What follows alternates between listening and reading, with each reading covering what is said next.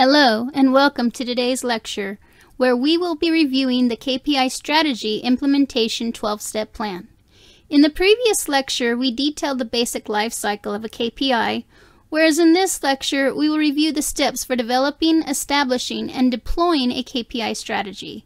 I'm Karina Epperly, and I'll be your instructor for this course. The following 12 basic steps are essential in KPI strategy implementation. When these 12 steps are followed correctly, these steps will lead to the company's survival and increased profitability. To be and remain successful, a company must understand what the barriers are to their success, develop a plan of attack, implement that plan, and continuously move the company towards increased efficiency and productivity. This plan serves as the foundation. These 12 steps are 1. Understand the critical business needs of the company as established by the company stakeholders. 2. Based on the critical business needs, corporate identifies the business goals and objectives that will be the primary focus for the given year. 3. At the individual site level, 3 to 4 key performance indicators are established for the entire site to focus on for the given year. 4. A loss analysis is performed in order to identify and quantify the largest losses on the site. 5. Based on the critical business needs, business goals, and loss analysis, a master plan is created. The master plan details the strategy of how the company plans to satisfy the critical business needs, as well as the projects and or activity, the time frame, the person responsible, and the corresponding goal. 6. Each business unit, area, and or department develop KPIs based on the loss analysis that support the main site KPIs. 7. For each of the KPIs, historical data is analyzed for trends, special and common cause. 8. Based on the KPI's historical performance and the business goal, target and goal lines may be staggered. 9. Update master plan with the goals and timeframes established for the KPIs. 10. For each KPI, establish an action plan. 11. Measure KPI based on the desired frequency, such as hourly, shiftly, daily, monthly, etc. And 12, hold periodic reviews of KPIs, follow action plan to assign the proper response and action items when needed, complete items in a timely manner, and communicate the progress. Step 1. Stakeholders identify critical business needs. Critical business needs are the goals and objectives the company must satisfy in order to remain competitive and profitable. Critical business needs are identified by the stakeholders are broad strategic goals and objectives that typically involve the entire organization. They are goals set at the strategic level that have a direct impact at the operational level. Critical business needs are derived by sifting through all of the barriers blocking the organization's success until the largest losses are identified. These largest losses become the critical business needs. Such barriers to success include but are not limited to poor customer retention, poor customer acquisition, high maintenance cost and old equipment, high accident rate, and high transportation cost.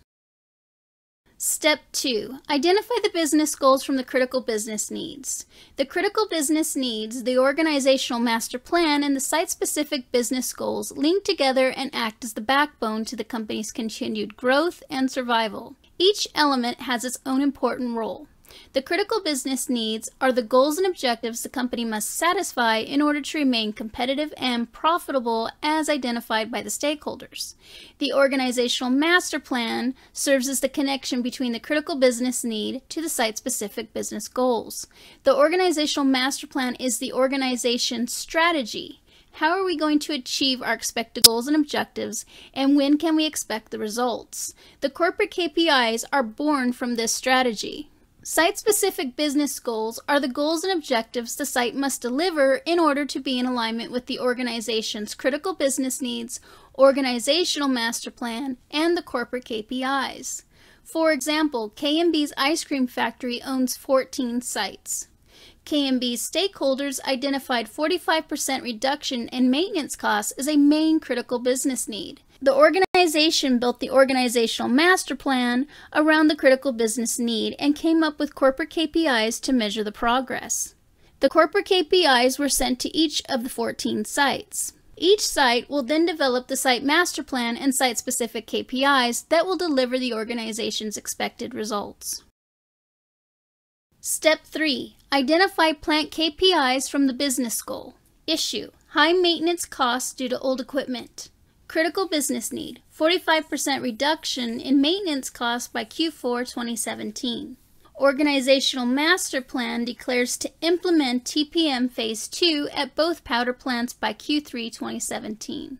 The site business goal for both Plant A and Plant B is to implement TPM Phase 2 at both powder plants by Q3 2017.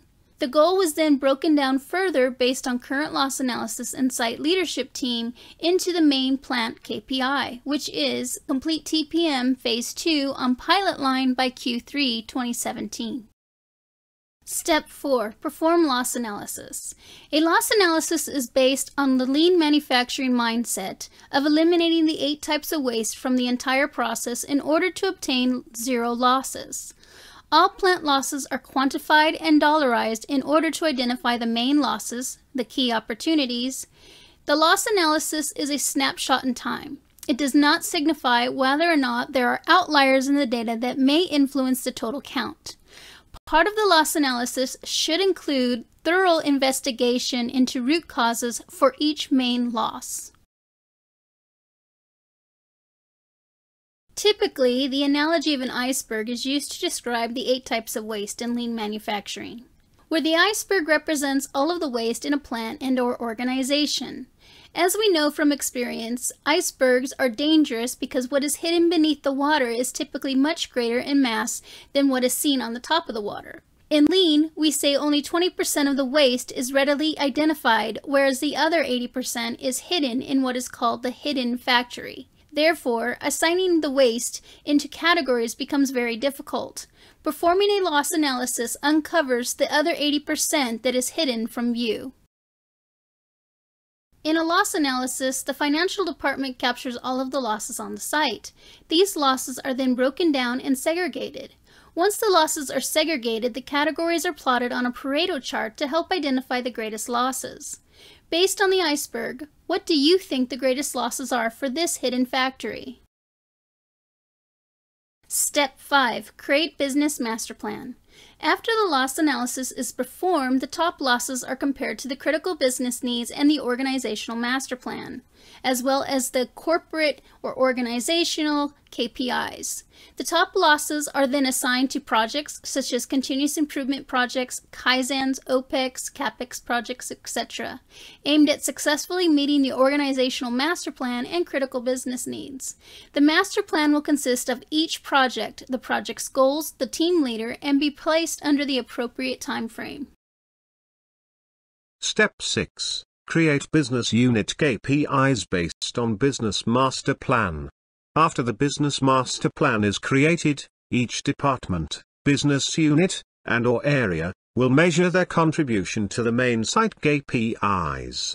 For example, if the critical business need is to, is to increase productivity by 25%, then the site's business goal is the same, which is to increase productivity by 25%. The site KPI for this business goal is percent productivity. The site KPI is then adopted as the main KPI for each department, business, business unit and or area. Once established this main, but lagging indicator, KPI gets broken down into its contributing drivers, such as, percent uptime, percent breakdowns, percent minor stops, percent speed loss, and percent idle time. Step 6. The drivers to the main KPIs at the department, business unit, and or area are then measured, tracked, and responded to at the line level. At the line level, the main contributors are further broken down into key drivers by line. For example, a main driver for percent productivity at the line level is percent minor stops minor stops may be further broken down into its main drivers. For this line, those main drivers are, 1. Number of cup jams 2. Number of lid jams. By setting targets and warning limits to the frequency of these events and applying root cause analysis to eliminate their presence we are successfully driving the main KPI. Percent productivity to the target goal of 25% increase. Loss analysis helps us to identify the main drivers by segregating, or separating, larger losses into their component losses. At which point, these main component losses become key metrics for the KPI on the line. This breakdown from the corporate KPI to the individual line KPIs is known as cascading KPIs or goal alignment. Let's look at another example. The key issue for our company is high maintenance cost of old equipment. Translating this key issue into the critical business need, to remain competitive and profitable we must reduce maintenance cost. The CBN is then translated into the corporate GAPE KPI on the organizational master plan, implement TPM phase 2 at both powder plants by Q3 2017. The corporate KPI is then sent down to the individual sites to create site KPIs, this being, implement TPM phase 2 on pilot 2 on pilot line by Q3 2017. The department that is responsible for the pilot line will then develop main KPIs for the pilot line in support of the site KPI. In this example, the line KPI is, implement TPM phase 2 on line 1 by Q3 by Q3 2017. In order to ensure they successfully accomplish the corporate KPI they may expedite the timeline from Q3 2017 to Q2 2017. The Line 1 KPI will then be further broken down into its key drivers, drivers, percent uptime percent completion of PMs percent progress towards phase completion percent of defect tags eliminated percent of source of contamination, SOX, and hard to reach places, HTR. Let's look at another example, the key. As you drill down, from top, corporate KPI, to bottom, line KPIs, you can see the cascading effect, like a ball rolling downhill. With each turn, the KPI becomes more and more defined until we reach a leading indicator that is proactive in nature. If we do A, B, C then we will satisfy this KPI for this shift, this day, this week etc. until we successfully obtain our main objective.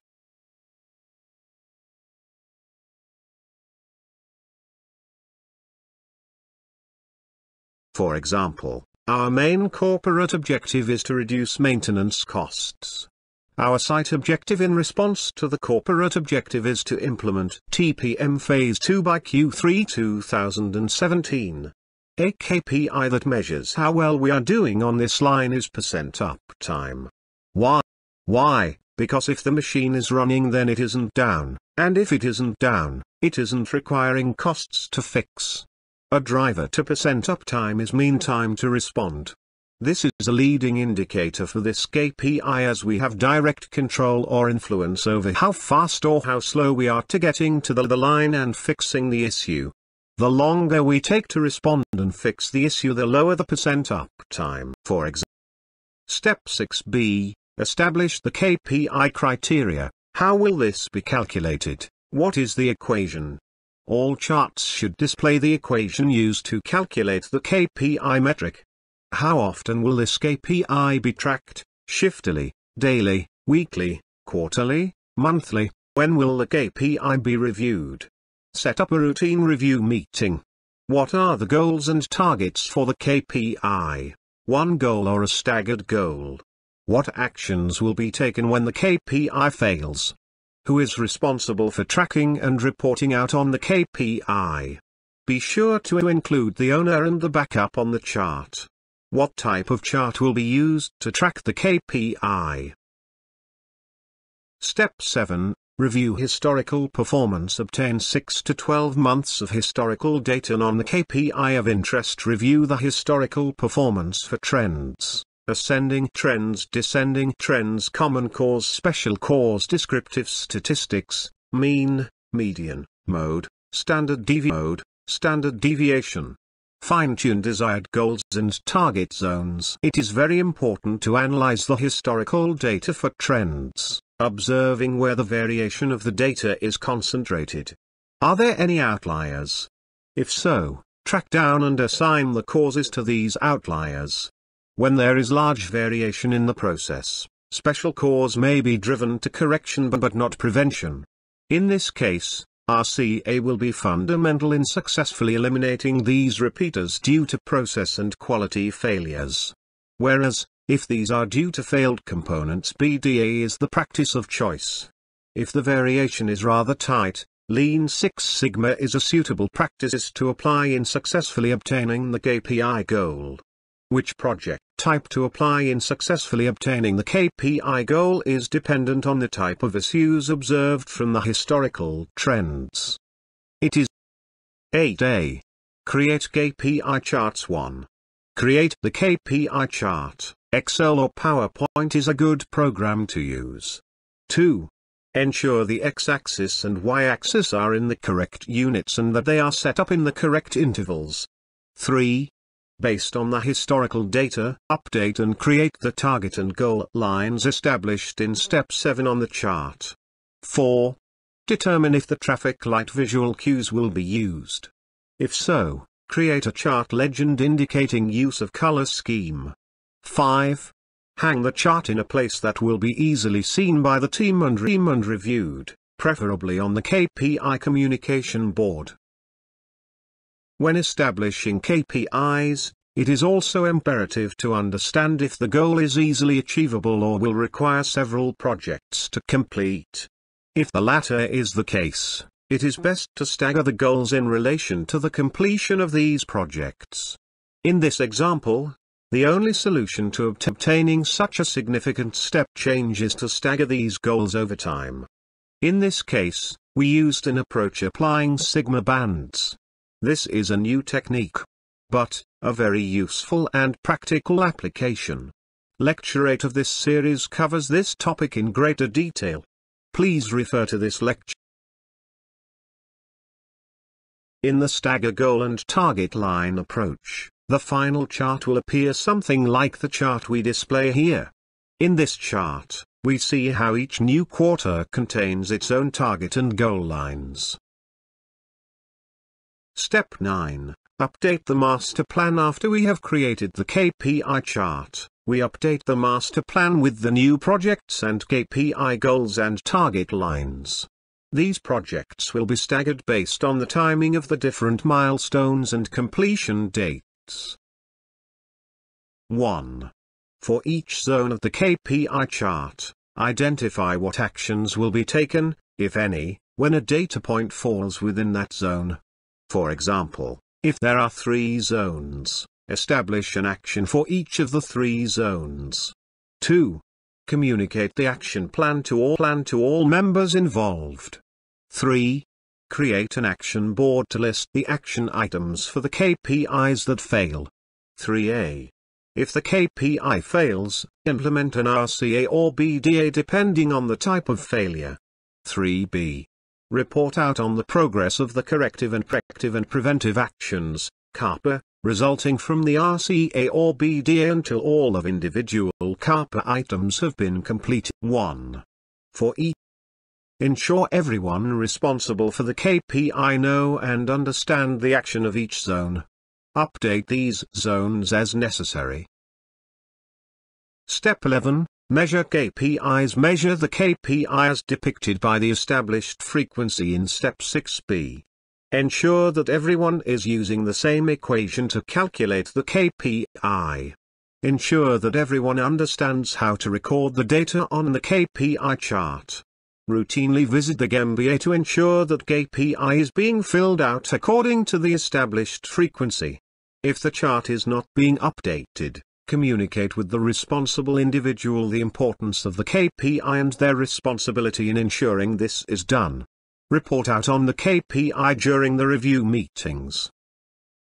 Step 12 Establish routine reviews of the KPI chart. Although, leading indicators should be reviewed at the Gemba by operations. There are times when these KPIs will be reviewed in a meeting environment, regardless of the format, the following should be established. 1. Routine meetings should be established to review the KPI performance PI performance based on a repeating frequency.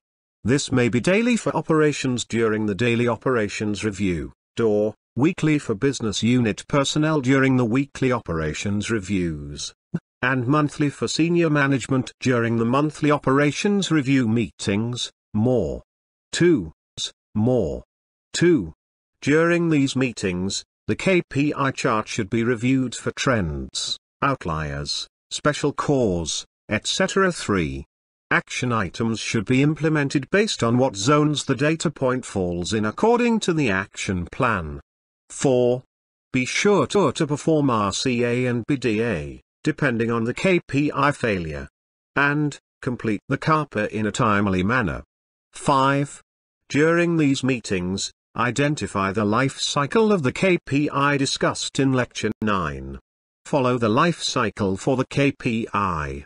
Once I once the KPI has exited the repeat loop as detailed by the KPI, although, leading indicators should be reviewed at the Gemba by operation.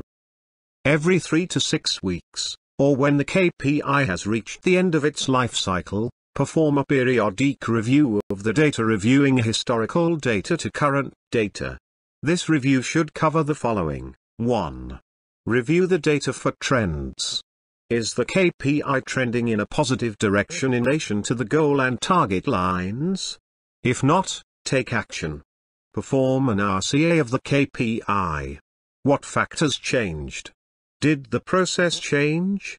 etc. Report out the findings to the review committee. 2. Update charts with new goals, target. If we have successfully reached the current goal and targets, or will reach these goals and targets well before our date, revise these goals to be more aggressive. 3. Review the current action plans. Are these action plans driving success? If not, update the action plan. Communicate any changes in the action plan to the team. 4. Once a KPI has reached the end of its life cycle, Place the KPI on a relaxed frequency to ensure the progress does not backslide. Identify a new KPI to be placed in its stead. Step 12b, repeat the cycle every 6 to 12 months, or when a KPI has reached the end of its life cycle. This concludes today's lecture. If you like this video, Please like us on YouTube, or visit us at l6sigmasupportal.com for more information on this topic.